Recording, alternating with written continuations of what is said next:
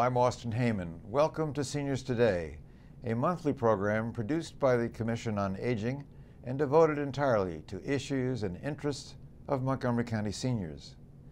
This month we learn about the results of the Commission's Summer Study Group on Caregiving, and we offer you a treat, literally, by having a nationally known chef and author bring some pastry treats and advice right here into the studio. But our first topic today is the STEM Volunteer Program. The acronym STEM stands for Science, Technology, Engineering, and Math. And the purpose of the program is to bring technical and scientific adults into our county classrooms to help students achieve science, technology, engineering, and math literacy in their high school studies. And joining me to tell us more are Michael Neal, a science teacher at Sherwood High School, and Robert Thomas, the Montgomery County team leader for the American Association for the Advancement of Science, the STEM volunteer program. Well, welcome to Seniors Today. Hi.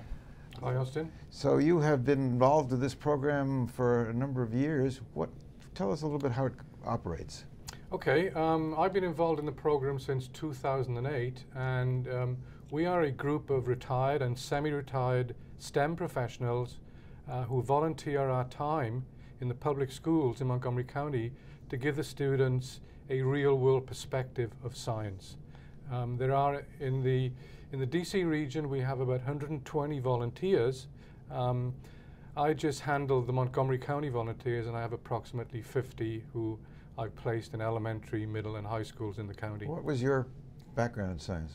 I'm an analytical chemist by profession. I worked 25 years for um, a large instrument manufacturer uh, that did uh, that did laboratory instrumentation. Wow. So that's my background. And, and Michael, you have a, you're, you're a teacher at, at Sherwood. I teach chemistry.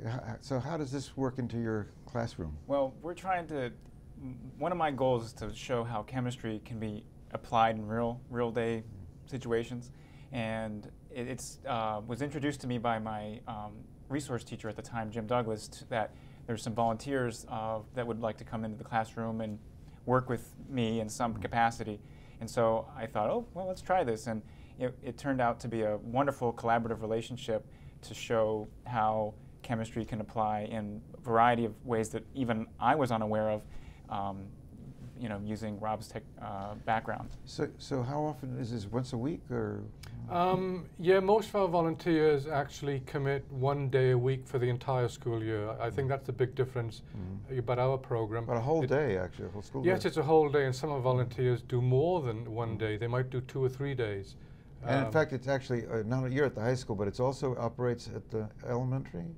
Yes, um, I support Mike at Sherwood High School but we have uh, we have many volunteers who go into elementary schools and middle schools. Pardon me, I just want to. I think Rob, don't you also volunteer at some on other schools as well? Yes, I actually um, I actually do uh, a middle school also. I I am the coach of the Science Olympiad team mm. at North Bethesda Middle School. In addition okay. to my at High School. guy.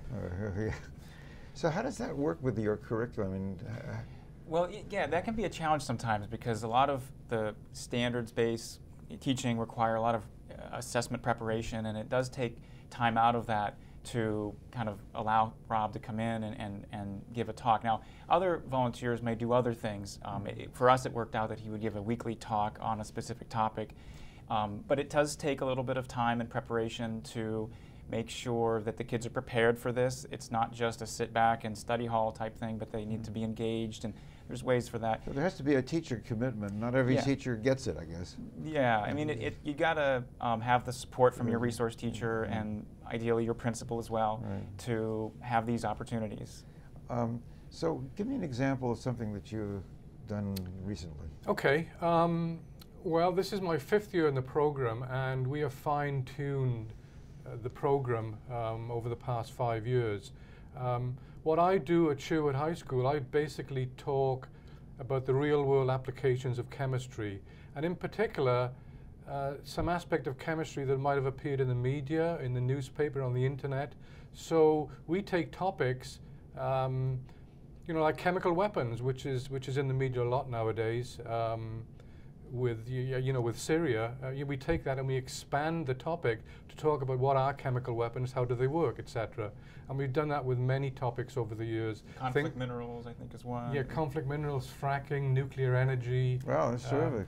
Yeah, so we you know we try to find stuff that's topical that's going to engage the students. And then also, uh, my job is to connect it to the curriculum. It's, it's, you know, we do a lot of, like, with regard to the conflict minerals, they need to be classified based on, you know, what's there. You know, there's tantalum and cobalt, and those are elements on the periodic table. So it's a way for them to see, oh, that's how you can, you know, the periodic table can be used to help identify these minerals. And it, it, there's a lot of connections that require So- a, the teacher. So, I mean.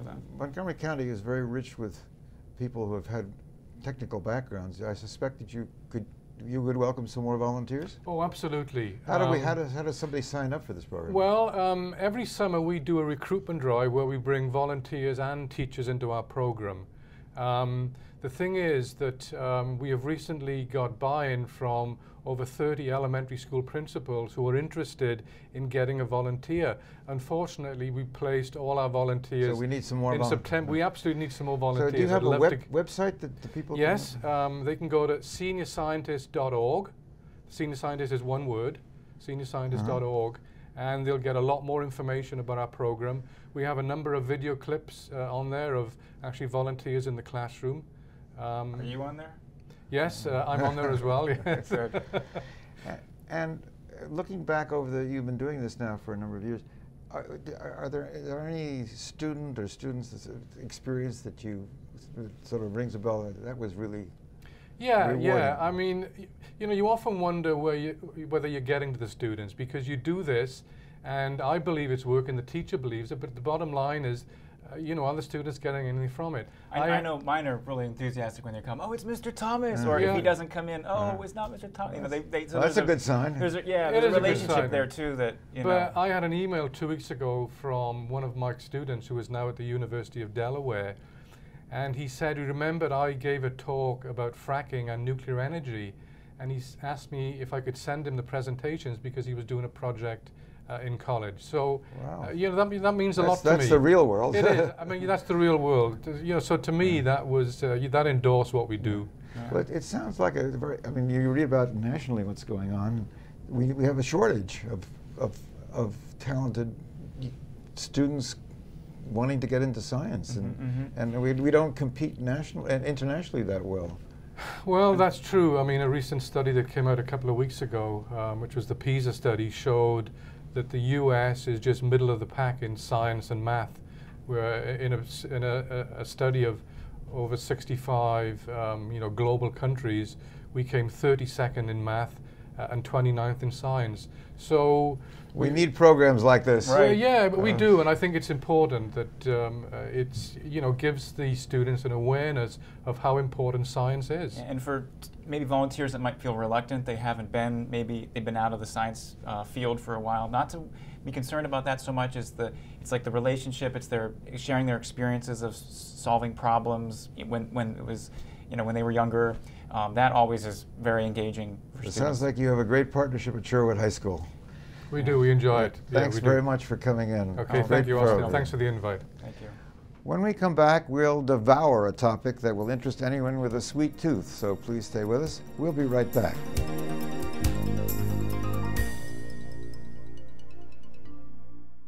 Here's your chance to save money and help the environment. Bring your reusable bag when you shop and you'll save 5 cents for every store bag you don't need. Retailers in Montgomery County charge 5 cents for the plastic or paper bags they provide. Why? Because plastic bags are the biggest single source of stream and waterway litter, causing pollution and flooding. And every year, Montgomery County spends $3 million on cleanup. So do yourself and the environment a favor. Bring your reusable bag when you shop, you'll fight litter and keep the change.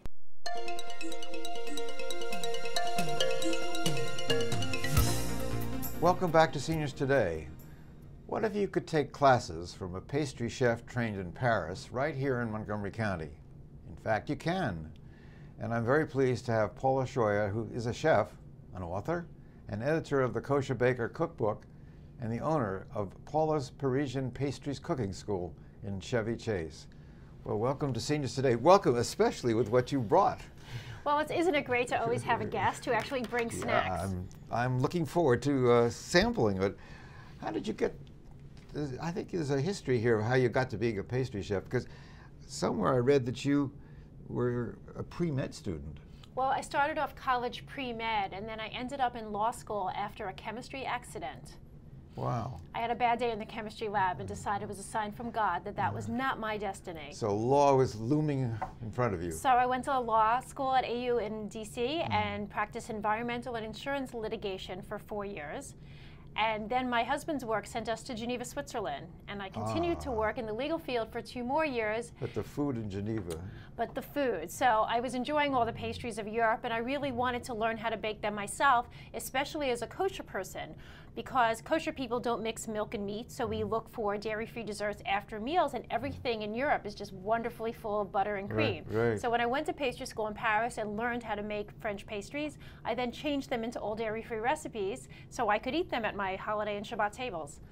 So what do we have here? So what we have here is I've moved in a little bit of a healthier direction with some of my desserts. This is a sugar-free mm. pumpkin bread. It's made with agave and it's got spelt flour and white whole wheat flour, so it's good for you. Mm. And then over here I have babka bites. These are dairy-free. And I try to take traditional mm. Jewish recipes and make them more contemporary, and the mini craze is pretty big right now, so I have these mini little chocolate babkas. Delicious. And then these are the perfect muffin for breakfast because they have walnuts inside and zucchini. So it's vegetable, protein, and oh, well, amazing dark chocolate. for breakfast. I have to try this. Then you have to try this. It definitely has sugar in it, but no white flour either. Mm. So I try to make desserts for everybody who's on any kind of diet possible. So whether you're gluten-free or sugar-free or or nut-free, desserts are labeled in the book. So this book has labels that tell you if it's vegan or nut-free or sugar-free or gluten-free.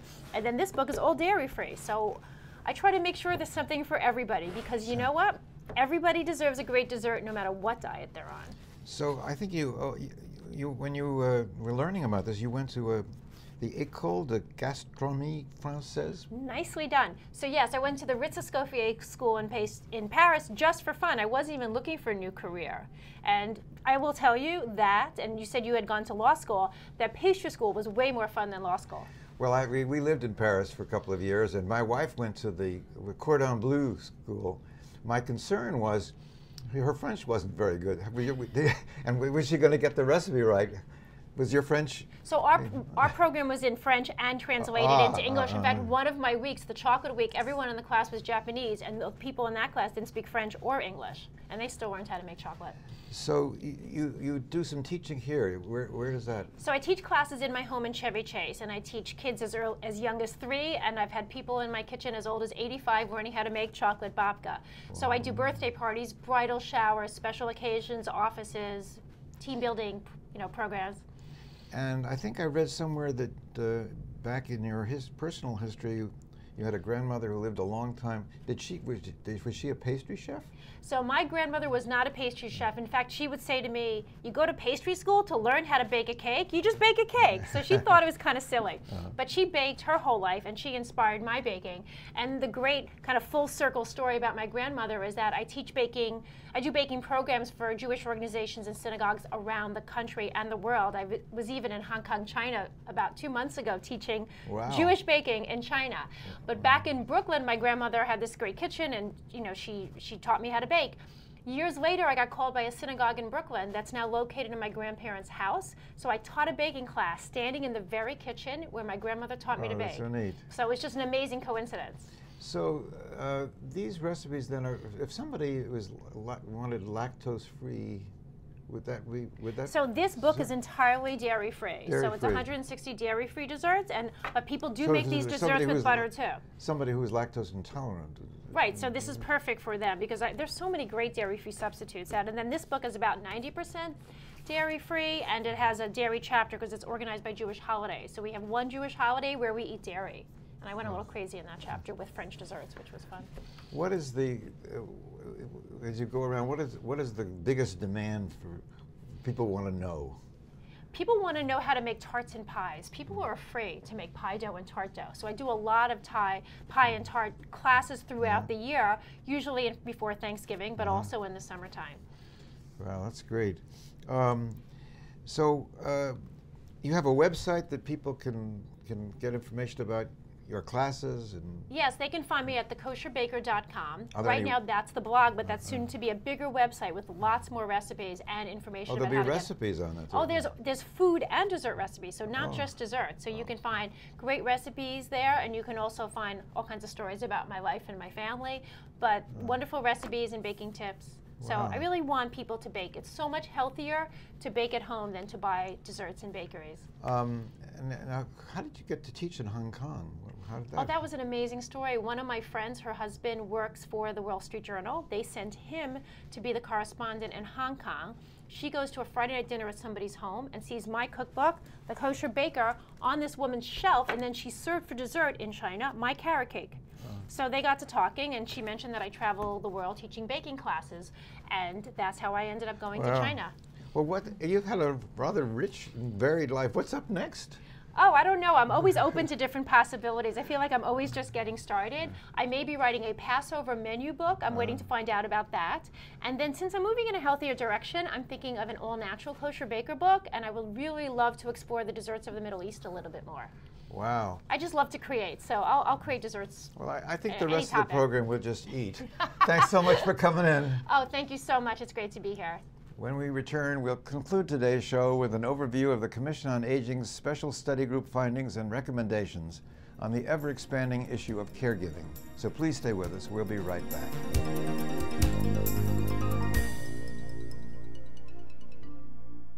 Have you ever parked illegally in a reserved accessible parking space?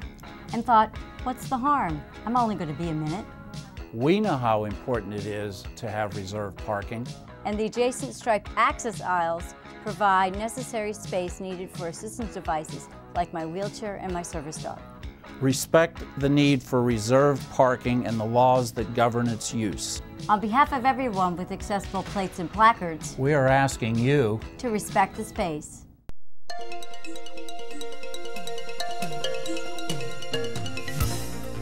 Welcome back to Seniors Today. The county's Commission on Aging serves as an advocate for the health, safety, and well being of the county's older residents. Made up of a number of committees, members also form special study groups during the summer to focus on specific issues regarding seniors. One of those studies focused on the issues of caregiving. And joining me to tell us more are the co chairs of the Commission's Health and Wellness Committee, Tammy Duell and Dr. Revathi Vikram. Well, welcome to Seniors Today. Thank you. So you had a, a very vigorous study this summer. What was the why why would, why was the study done? Well, the Commission on Aging Senior Health and Wellness Committee focuses on issues that are important to seniors, to their health and their well-being in Montgomery County. Um, and an issue that kept coming up again and again was caregiving and the need for more information and support for caregivers in the county. So we decided to focus, um, uh, do a more intense focus on this over the summer, and we invited national and local experts to talk about caregiving. Uh, and then we developed some recommendations for future action. So Rev, what did you learn?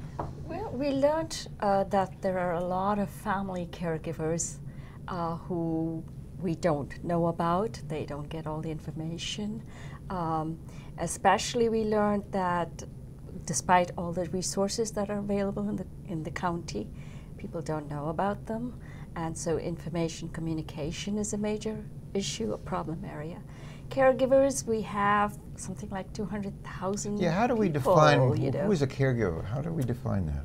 Well, we focused on family caregivers. So Mm-hmm. if you're providing assistance for a cam- family member with shopping, doctor's appointments, medications, Mm-hmm. maybe telephone check-ins, um, services and, and supports that you weren't providing in the It past. could, it could be a child, or it could, Could be, be a rel- child. a sibling, or it could be a parent. Right. or a People are spouse. often caring for their Mhm. aging spouses or their Mm-hmm. adult children are caring for their parents. And many of them are baby boomers. They have young children of their own. They might be working full time. So there are a lot of challenges. It's very rewarding to be a caregiver, but there also are a lot of challenges and unmet needs. Well, Rev, you actually are a caregiver.